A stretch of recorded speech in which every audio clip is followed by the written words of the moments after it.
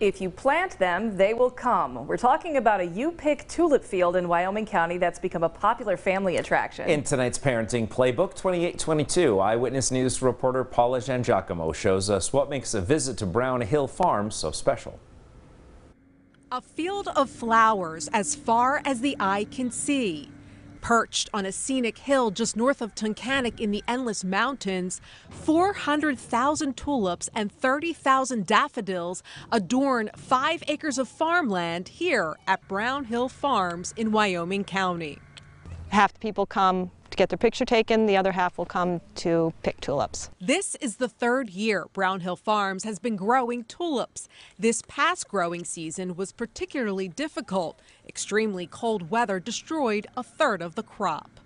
April this year was very cold. We had 10 inches of snow two weeks ago with that snowstorm that came through.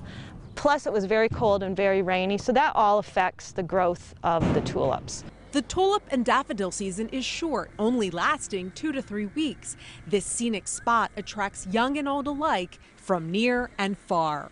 Every year, the distance that people travel to come to the farm gets further and further each year, which is nice because we've met so many people, and then they'll bring back their friends, or um, we just have met so many nice people. In addition to the flower festival, there's also a retail store, play areas, concession stands, and a petting zoo. Oh, you like your hand? Yeah. yeah. Rebecca Wando is visiting the farm with her two-year-old daughter, Emerson. It's super clean. It's super kid-friendly. Um, the staff's really nice. The animals are really nice. Um, it's fun for her. I don't have to constantly be on top of her. It's safe, so it's perfect. Once the tulips and daffodils die, 20 acres of sunflowers will be planted here and they'll be primed for the picking by the end of July. This already is really remarkable. You can tell they put a lot of effort into this, so I mean, obviously, anything they do is worth coming back to see. So, whether you plan to pick flowers or take pictures, admission at Brown Hill Farms is $10 per person. Each stem picked is a dollar. In Wyoming County, Paula Giangiacomo, 2822 Eyewitness News.